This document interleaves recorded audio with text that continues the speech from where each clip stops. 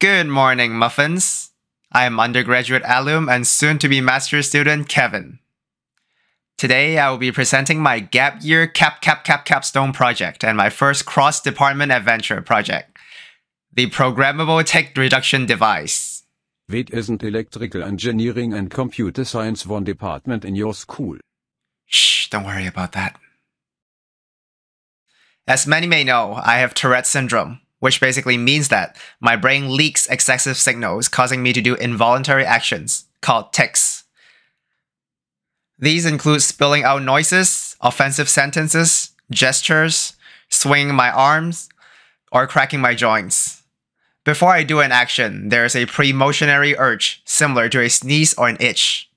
One of the inner parts of my brain floods the motion control center going, you have to do this action.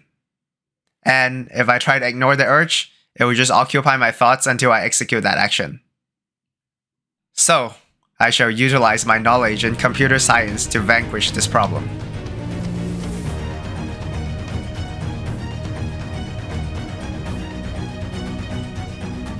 Earlier this year, I found this paper from Nottingham University, where they showed that electrical pulses to the median nerve can reduce the tics in individuals with Tourette's. In a subsequent paper, they created a wearable device that delivered the pulses and tested it on 121 patients.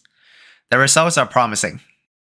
So, this will be my summer project to replicate the product detailed on the paper and test it on myself.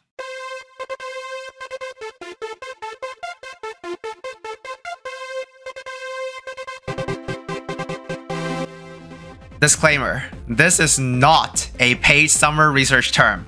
I received zero award money or salary and paid out of pocket for extra components myself. Though I'm able to reuse the Raspberry Pi Pico Ws from my fourth year project course. Now, uh, for those who are not into CS or you are but live under a rock, a Raspberry Pi Pico W is a microcontroller, just like an Arduino board, where you can put code in it and control an electrical circuit. The W stands for wireless in case you're wondering. This silver block here on the Pi Pico W is the chip enabling Wi-Fi and Bluetooth communication. The EECS department has been very nice, letting me borrow equipment. And a huge shout out to Mr. Jaspo, who helped me with the soldering. Well, cause if I try to do it myself, given my motion tics, I, I probably receive a 4000 degree burn and a, and a fun trip to ER. Without the student health plan, by the way.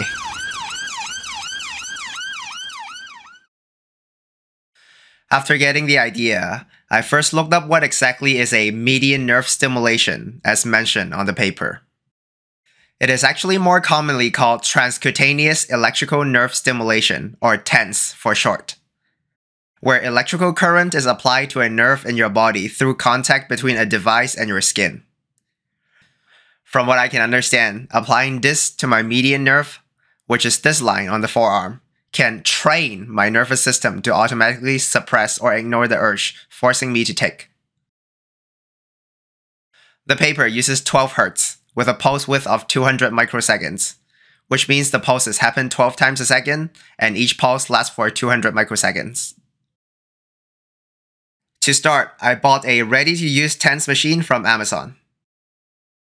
The electrical current is delivered through these conductive electrode pads coated with adhesive to stick to your skin. These can be used a few times before the adhesive becomes stale and you have to eat them to the trash. You can also buy reusable ones made of carbon rubber where you add gel to them each time before use. Another source I read mentioned that I need to increase the power until it goes to the motion threshold, which is the lowest settings to see visible twitching in my hand. For an initial trial, I posed myself as I watched the paper's attached video about a subject with coprolalia just like myself. Usually, seeing others tic have a chance of triggering my tics. Not this time though. On the surface, it does seem to work and it's already very promising.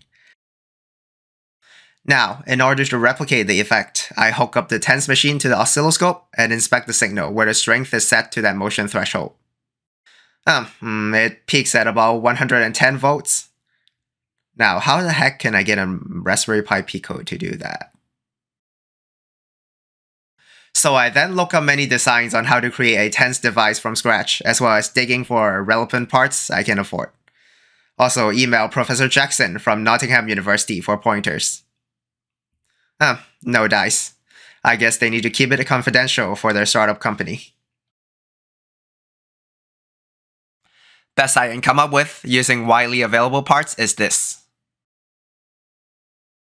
Starting with a 9 volt battery as a power supply, it is boosted to 40 volt using a DC step up converter, which then powers a half bridge driver.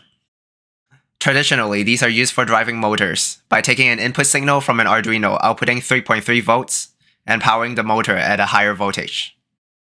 The Raspberry Pi Pico will be coded to output a signal to the driver, and the driver will give the higher power signal to my skin. It can only deliver a square wave signal at about 40 volts, since the voltage is set by the step-up transformer, and the limit is around there. All other designs involve buying dedicated parts from producers and designing, then printing a circuit board myself. Uh, yep, not affordable, alright. I do know that delivering the 100 volts detailed in the paper is definitely possible. If only I have more knowledge in electrical engineering to design the full circuit. Uh, yeah, welcome to Canada. We, we have no minors in electrical engineering to go with our CS degree. Anyways, another paper shows that in a TENS system, motion strength is proportional to the pulse width. I assume it's all about the uh, total electrical energy applied, aka voltage times time. So even if we can only do 40 volts, I can just try to increase the pulse width in the code and see what happens. With the help of Mr. Jaspo, we soldered the circuit for testing. For now, the Pico is powered by USB connection to a computer, which also displays the code's print outputs for ease of debugging. I coded this desktop application that communicates with the Pico via Bluetooth GATT. Uh, no, no, not GAT, not, not that one. GATT is a protocol for sending data via Bluetooth between devices. Here, I can change the settings and send them to the Pico as well as tell it to start and stop. I hooked it up to the oscilloscope and set up the settings. And nice, it worked. I then put the electrode pads on my arm and started. Yep, I can feel the pulses. When I increase the pulse width, it does feel stronger. This is already looking great. Now, it's time to test if the device actually works or not. Here, I set up this little experiment to see if it does reduce my tics. Disclaimer, this is by no means a rigorous or formal medical experiment. It is more qualitative and subjective based on my feelings. But I mean, this entire project is more about the electrical engineering than the medical. Uh, yeah, fellas, if I want to work in the health science department, I would have been there already. I start by recording myself going to random Wikipedia articles and reading them out loud for six minutes. Doing some sort of active activity instead of sitting still has a higher chance of my tics being triggered naturally, so we can see the numbers better. Then I make and eat a cup of Nongshim spicy cup noodles. I used to love them so much. Remember to drink all the broth for the full effect. The spice will cause my tics to flare up, and this is the exact reason why I haven't had them for years.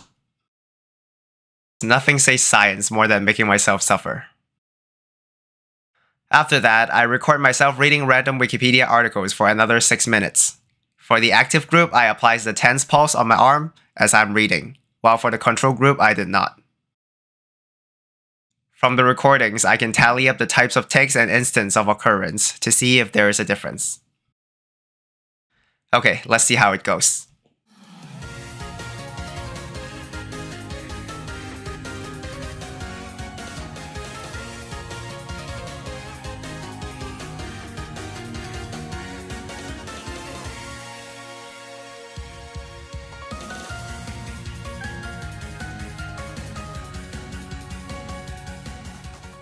Here are the results after I review the recordings and tally them up. Numerically, you can see a sort of significant reduction in the amount of tic instances.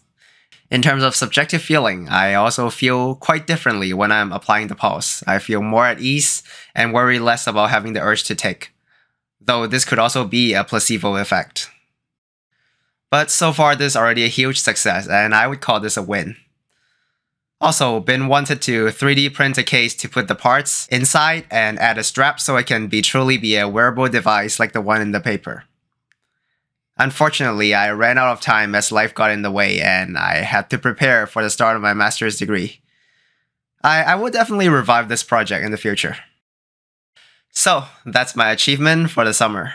For now, it will sit in the uh, metaphorical freezer until I take it back out next summer. Either way, I'm finally wrapping up my gap year. I'm back for round two, baby. The gap year was meh in terms of relaxing, I say. There might be a storytime doodles in the near future where I would talk more about it. As school years take up my time again, I think I will switch to making videos with a quicker turnover. Thank you everyone for your support. Love y'all. Anyways, if you liked the video, give a like, leave a comment, tell me how I can improve or what you want to see next and subscribe if you want to see more. See you, Nada!